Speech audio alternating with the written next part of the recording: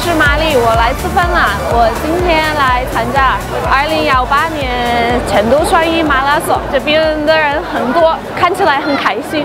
然后我现在期待开始跑步。三月十八日早上八点三十分，二十七岁的芬兰姑娘玛丽与来自世界各地的三万名跑步爱好者一起，从都江堰出发，穿过古城门。跑过世界自然遗产四川大熊猫自然栖息地，世界文化遗产青城山，用不断前进的脚步感受成都双遗的自然生态环境和厚重的历史文化。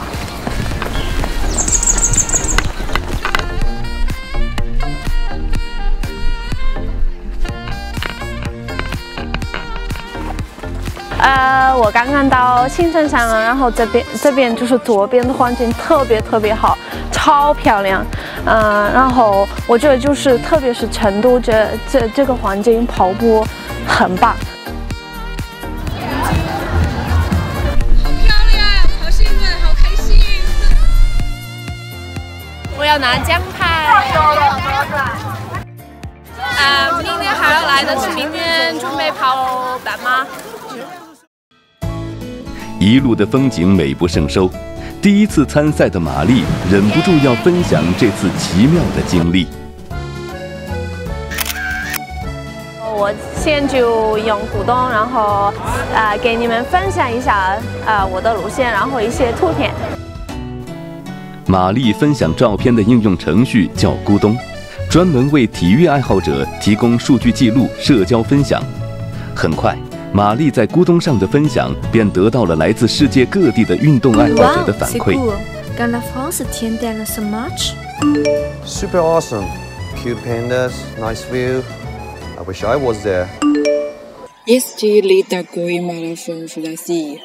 发现成都的运动的比赛各种各样的特别特别多，然后这边的人很热情，然后很喜欢运动跑步。其实我也想起来了一个想法，但是先不给你们说。好。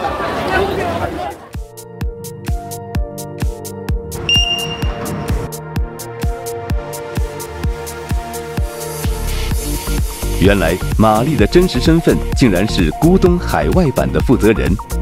成立于二零一零年的成都本土企业咕咚，以智能硬件与社交软件相结合的形式，一经面世便得到了全球运动爱好者的高度认可，迅速拥有了超过三亿的用户。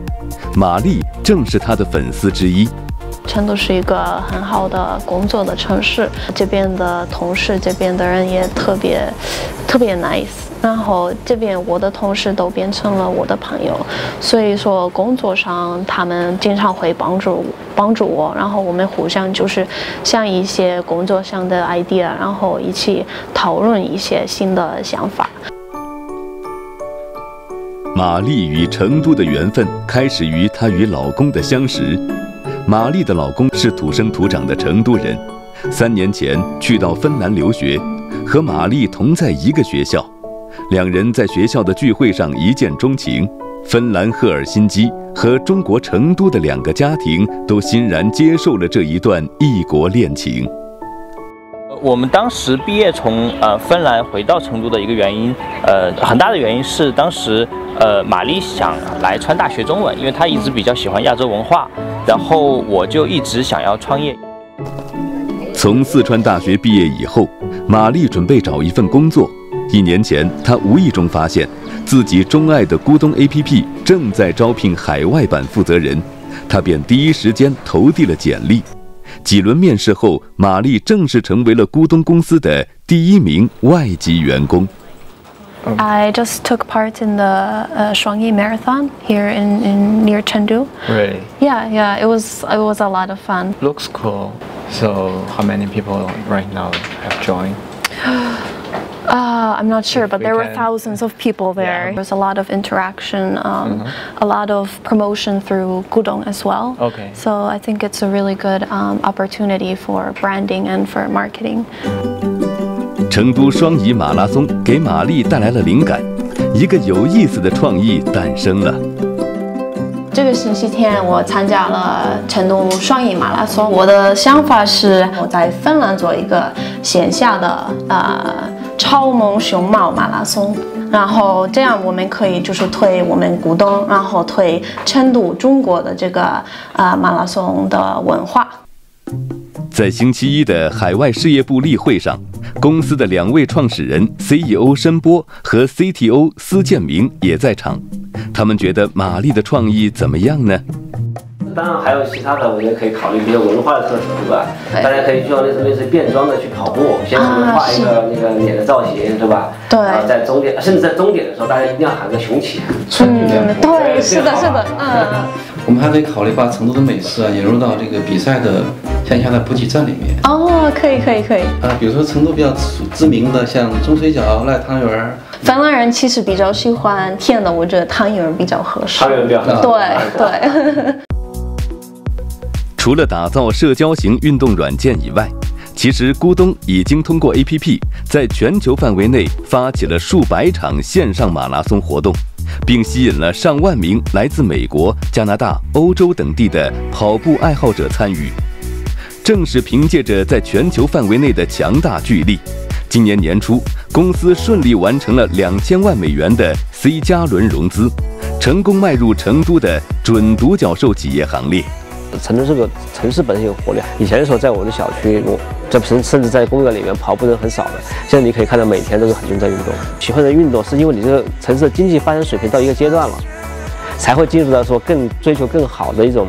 生活对吧？更健康的生活。除了本身成都这个城市的它的一些文化特点之外，很重要一点，成都城市的整个发展水平已经是在全全国来说已经是居于前列的。咕咚创始人申波是个地地道道的理工男，但他却有着一颗不安分的创业心。从电子科大毕业后，他先后就职于诺基亚、西门子中国等世界五百强企业。一次偶然的机会。他与来自山东的司建明在网络技术论坛上相识，有着共同创业梦想的两位程序员一拍即合，决定辞去当时的高薪工作，一起到成都创业。这个就是就是我们刚开始创业的时候的这个办公室嘛，我记得当时有两间，应该对六九和七零这两间。创业初期，申波和司建明的办公室位于国内知名的移动互联网新兴孵化器。成都软件园创业场，这里曾经走出 Camera 三六零、吉米等众多国内外领先企业，咕咚也是其中之一。负一楼专门为初创企业提供免费办公室，使用期限只有一年。一年后，当团队达到一定规模，才有机会搬到楼上，拥有更大的办公场所，并有机会获得融资。因此。上楼成为了这里众多初创企业最大的梦想。决定再次创业的时候，其实所谓上楼上有老下有小嘛，还是有工作压力的，有各种压力在里面。因为我们刚开始创业，什么都不懂，甚至连注册公司啊这些很多商务啊财务都不懂。那个时候就有孵化器来帮助我们来做这些事情。正是成都良好的创业氛围、优厚的创业政策以及无处不在的机遇，给了申波放手一搏的勇气。创业第二年，仅有五个人的咕咚团队就拿到了两千万元人民币的天使投资。在创立公司的八年时间里，咕咚成长为拥有两百多位员工、用户总量过亿的创业公司。与此同时，成都正在大力发展新经济，培育新动能。正在公示中的成都市城市规划（二零一八至二零三五年）。对发展新经济做出了进一步的规划，申波和司建明又看准了新的机会，把眼光瞄准了智能装备市场。把那个我们跑鞋啊，我们的产品设计一些更具有成都特色的一些，呃特点的一些产品，比如说，比如说成都的熊猫嘛，熊猫是黑白的，我们能把鞋只有黑白两色的，对吧？做成什么熊猫鞋？因为我们鞋全是智能嘛，又又代表科技，又有成都文化特色的。在二零一八年成都总体规划这些这些纲领性文件，我认为是对现在成都整个产业发展是具有非常强的指导作用的。这也是我们呃对新经济包括智能制造的一个呃一个产业的一个一个一个一个布局吧。我觉得，那对我们说，我们刚好也符合这个趋势，所以说我认为这对我们工作是非常之重要的。啊，成都这样一个非常宜居的城市啊，其实对特别软件类和互联网公司的人才来说是非常有吸引力的。对我觉得对越来越多融漂来说哈，我觉得成都就是一个既可以创业工作的地方，又是一个享受生活的地方。融漂、申波和司建明并不满足于今天的成就，他们想要在这座城市里继续发展壮大，成为真正的独角兽。作为咕咚公司海外事业部负责人，玛丽也在为自己的梦想而努力，争取早日回家乡芬兰办一场和成都双遗马拉松一样成功的比赛。啊，我经常喜欢在成都跑步，因为这边的环境其实挺好的，公园看到湖。看到很多绿色的，我会呃想起我我老乡芬兰。未来在成都可能有几个小孩，对吧？从申波、司建明两位荣漂对事业的执着，到杨荣漂、马丽对未来的憧憬，成都正在让来自世界各地的人们有机会实现自己的梦想。作为最适宜新经济成长的城市，成都已经拥有三十余家和咕咚一样的未来独角兽。前不久，在中国国家科技部发布的二零一七年度中国独角兽企业发展报告中，成都新潮传媒集团有限公司估值一百亿，位列二零一七中国独角兽企业榜单。之后，成都企业吉米科技、一联。又相继入榜2018中国独角兽一百强，而未来，在成都新经济的沃土上，还将培育出更多的独角兽。